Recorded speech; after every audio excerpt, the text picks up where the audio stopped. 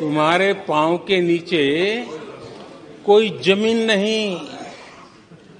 कमाल ये है। कमाल ये है कि फिर भी तुम्हें यकीन नहीं।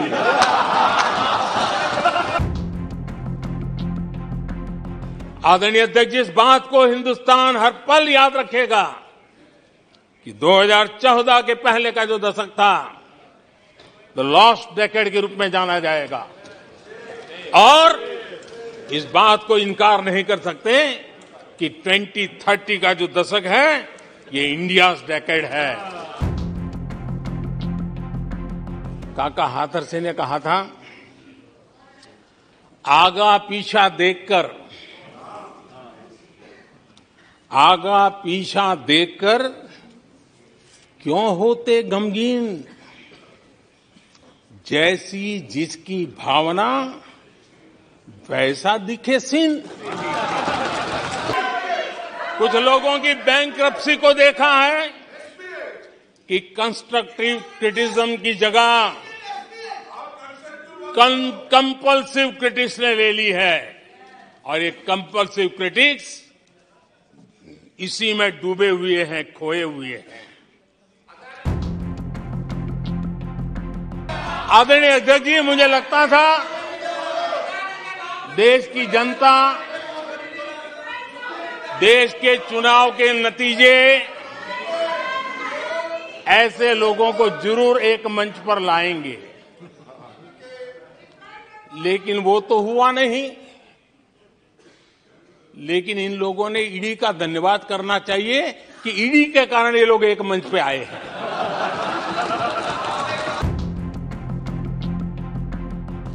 निराशा में डूबे हुए कुछ लोग। इस देश की प्रगति को स्वीकार ही नहीं कर पा रहे उन्हें भारत के लोगों की उपलब्धियाँ नहीं दिखती है। अरे 140 करोड़ देशवासियों के पुरुषार्थ और प्रयास का, का परिणाम है जिसके कारण आज दुनिया में डंका बजना शुरू हुआ है उन्हें भारत के लोगों के पुरुषार्थ और परिश्रम से प्राप्त उपलब्धियाँ उनको नज़र नहीं आ रही हैं। आज स्थिरता है पॉलिटिकल स्टेबिलिटी है। स्टेबल गवर्नमेंट भी है और डिसिसिव गवर्नमेंट है।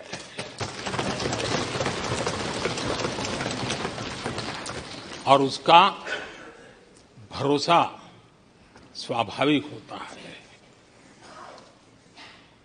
एक निर्णायक सरकार, एक पूर्ण बहुमत से चलने वाली सरकार,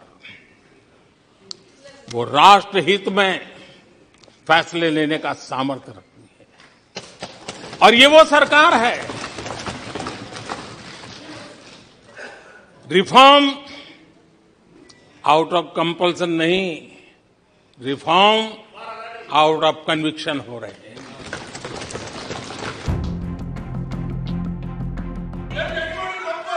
एक बार जंगल में दो नौजवान शिकार करने के लिए गए। और वो गाड़ी में अपनी बंधु बंधु नीचे उतार करके थोड़ा टहलने लगे। उन्होंने सोचा कि थोड़ा अभी आगे चलना है तो थोड़ा जरा हाथ पैर ठीक कर ले। लेकिन गए थे तो बाघ का शिकार करने के लिए। और उन्होंने देखा, आगे जाएँगे तो बाघ मिलेगा। लेकिन हुआ ये कि वहीं पर बाघ दिखाई दिया। अभी नीचे उतरे थे। अपनी गाड़ी में बंदूक बंदूक वहीं पड़ी थी। बाघ दिखा करे क्या? तो उन्हें लाइसेंस दिखाया कि मेरे पास बंदूक का लाइसेंस है।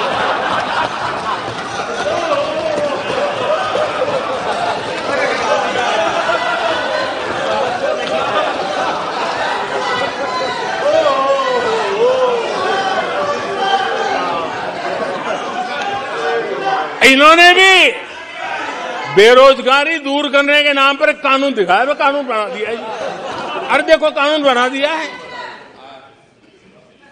ये इनके तरीके से पल्ला झाड़ दिया। चार से चौदह आज़ादी के इतिहास में सबसे घोटालों का दशक रहा। ये लोग बिना सर पैर की बातें करने के आदि होने के कारण उनको ये भी याद नहीं रहता है कि वो खुद का कितना कॉन्ट्राडिक्शन कहते रहे। जिस किसान के खाते में साल में तीन बार पीएम किसान सम्मान निधि के 11 करोड़ किसानों के खाते में पैसा जमा होते हैं, वो आपकी गालियाँ, आपके झूठे आरोपों पर विश्वास कैसा करेगा? आदरणीय अध्यक्ष जी, जो कल फुटपाथ पर ज़िंदगी जीने के लिए मजबूर था, जो झुग्गी झोपड़ी में ज़िंदगी बसर करता था, ऐसे तीन करोड़ से ज़्यादा लोगों को पक्के घर मिले हैं। उनको उनको तुम्हारी ये गालियाँ, ये तुम्हारे झूठी बातें कैसे क्यों वो भरोसा करेगा अध्यक्ष जी आयुष्मान भारत योजना, आयुष्मान भारत योजना से दो करोड़ परिवारों को मदद पहुँची है। ज़िंदगी बच गई है उनकी। मुसीबत के समय मोदी काम आया है। तुम्हारी गालियाँ को वो कैसे स्वीकार करेगा? कैसे स्वीकार करेगा? कुछ लोग अपने लिए, अपने परिवार के लिए बहुत कुछ तबाह करने पर लगे हुए हैं। अपने लिए, अपने परिवार के लिए जी रहे हैं।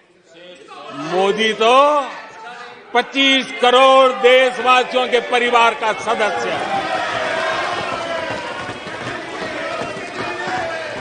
आदरणीय अध्यक्ष जी 140 करोड़ देशवासियों के आशीर्वाद। ये मेरा सबसे बड़ा सुरक्षा कवच है। मोदी पे भरोसा अखबार की सुर्खियों से पैदा नहीं हुआ है। मोदी पे ये भरोसा टीवी पर चमकते चेहरों से नहीं हुआ है। जीवन खपा दिया है। पल पल खपा दी है। देश के लोगों के लिए खपा दी है। देश के उज्जवल भविष्य के लिए खपा दी है।